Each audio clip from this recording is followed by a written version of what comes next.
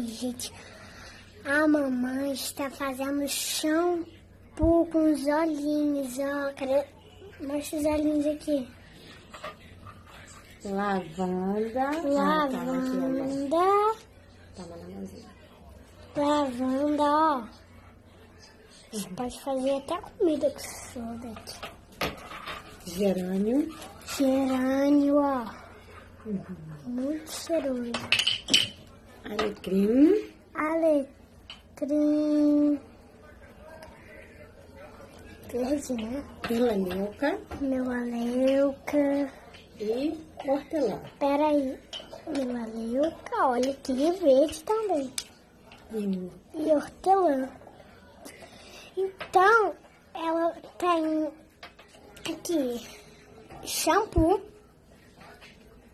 Aqui a gente vai misturar. A gente vai misturar aqui. E vai depois colocar aqui. Aí depois você, vai bater aqui assim. Para misturar. E essa colher aqui? né? Pra depois raspar quando estiver colocando aqui dentro.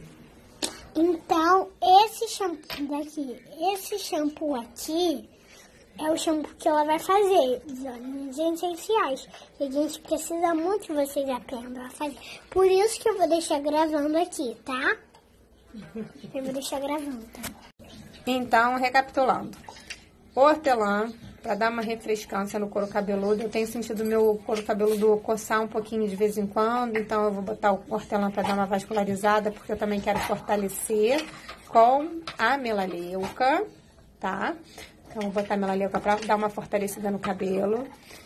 Vou colocar o alecrim para questão de queda, porque eu tenho sentido meu cabelo cair um pouquinho, questão de hormônios com certeza, mas eu vou botar o alecrim para isso, tá? Só que o alecrim e o melaleuca, eles são adstringentes.